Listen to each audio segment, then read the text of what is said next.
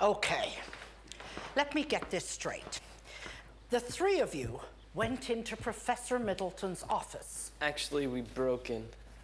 The door was locked.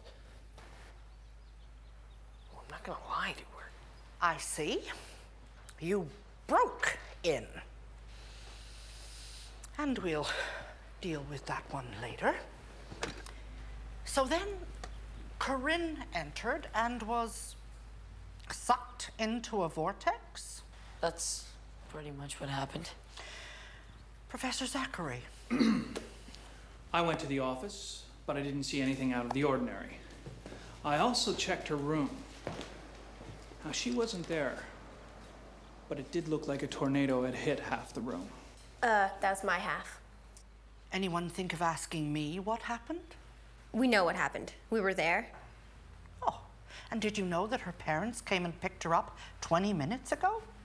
She's checked out of the school. That's bull. L- Loney. She didn't check out. Well, not in the normal way. Miss Trent, I can see that your stay here is going to be a very challenging one for both of us. I expect you to help me box up Corinne's things to send to her new school in Switzerland, as I was instructed to do by her parents when they picked her up. Now, and this is for the three of you, stop snooping around. There is nothing wrong at Blake Holsey High, and you're scaring the other students. Professor Zachary, I'm going to make them your responsibility.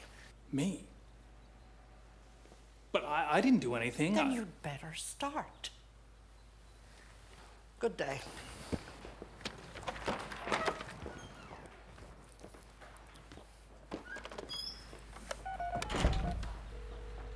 Mr. Pearson, we've lost another one.